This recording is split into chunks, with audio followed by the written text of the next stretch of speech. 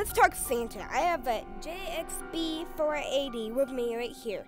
So Santa knows when you're sleeping. He knows when you're awake. He knows if you've been bad or good. Stalker alert. He's watching.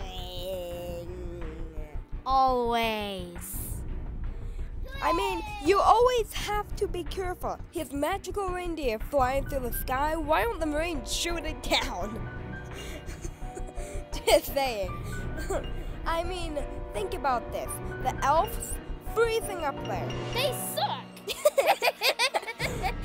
they're they're making presents and everything. What's the pay rate? Now let's talk Santa Claus.